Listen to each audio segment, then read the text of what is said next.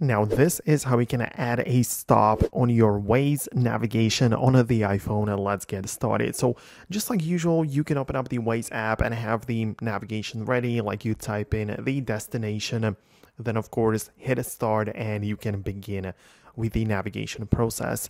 But as you are in here and see your location on a map or whatever it is, you can swipe up on it like that and it gives you the ability to check out some uh, like um, best time to leave and like the estimated time of arrival and like some information about the route. But if you swipe up a bit more you have a little section with the title add a stop and at first you have three options. Like you can uh, directly search for stops for parking gas stations or charging most likely and also the restaurants right? So these are most common stops on the way right? So you can click on something like that and it's going to give you some food stops along the way. So that's actually really useful.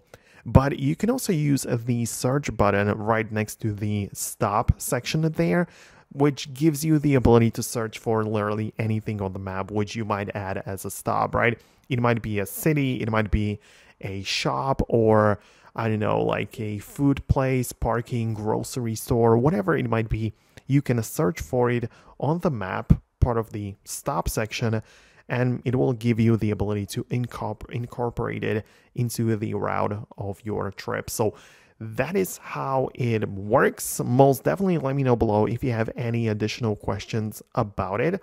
Subscribe for tutorials like this one in the future, and I'm gonna catch you later. So stay tuned, and I'll see you then.